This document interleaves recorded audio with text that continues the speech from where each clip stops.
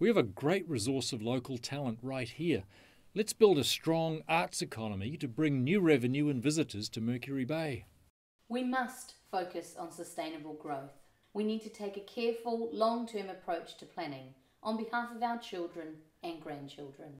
When community and business are well represented and working together with Council, we can build a truly positive and resilient Mercury Bay.